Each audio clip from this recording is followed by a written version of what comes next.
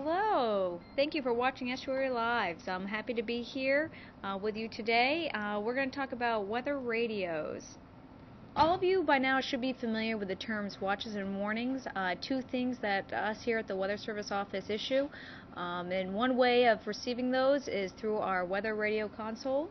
What happens is once the forecasters issue a warning, it goes through the computers into this computer where it is translated by a computer voice and then sent over to this computer, which if I turn it on here, Wave heights 2 to 3 feet.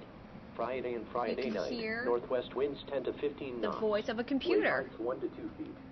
All the voices that we have, we have boy and girl computer uh, generated Wave heights 2 to voices, which will read the watches and warnings. It'll go through a phone line from here and out to some transmitters, uh, and where it can get picked up by anyone who has a weather radio.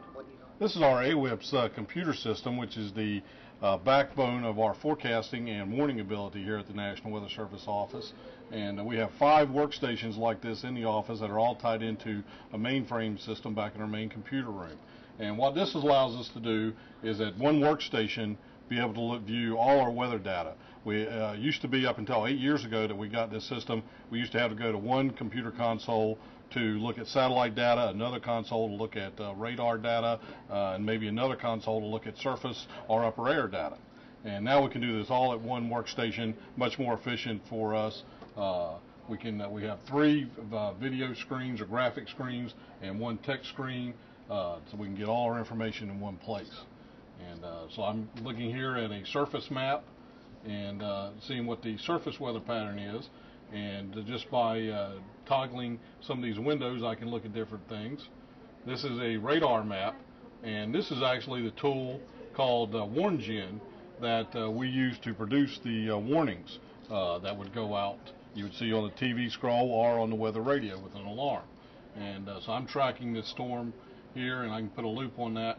And if I see it looks like severe, then I can uh, click the button on this screen and have it redo the box, and it'll track where I think that storm is going to go and put out a warning for that county. Here is an example of what we call weather radio. Uh, we're not talking about the standard radio that you might listen to music to in your home. Um, this one is made specifically to receive the transmissions that we have here from our uh, weather radio. Um, it'll play warnings and watches, and it'll alert you um, whenever we issue uh, certain severe storm warnings. Um, and here's an example of the alert. That's an example of an alarm um, that hopefully would wake you up in the middle of the night or alert you during the day that something uh, dangerous, be it severe weather or some kind of civil emergency, has uh, affected your area. Um, I hope you've all learned a little bit more about weather radios, and thank you for joining us here on Estuary Lives.